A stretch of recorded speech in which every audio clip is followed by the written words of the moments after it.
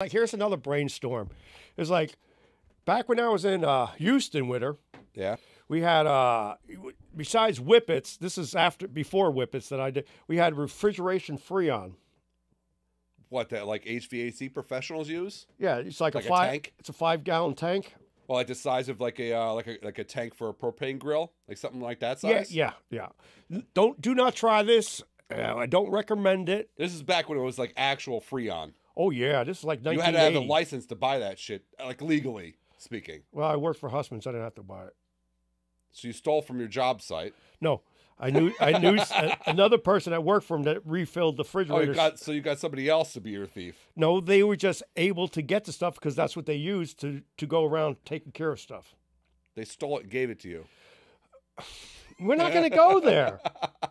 I mean, uh, let's call it. wow, it's called thief. What it is. Listen, let's call a spade a spade here. Like, it is what it is. All right. So so he doesn't want. So we would do All it. So, so what we should do? Just huff this shit, like fucking turn the valve on, yeah, with a hose.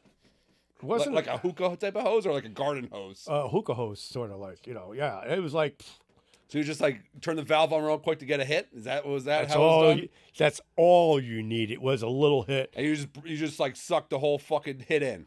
and hold and- and, and- hold and, it like, long as you can, and make sure it. make sure you're not going to fall down something sharp, and your head goes Because you're gonna pass the fuck out. Your head goes bang wow wow wow wow wow. You're actually like tripping for 30 seconds, 40 seconds, and your head's just, your brain goes scrambled eggs.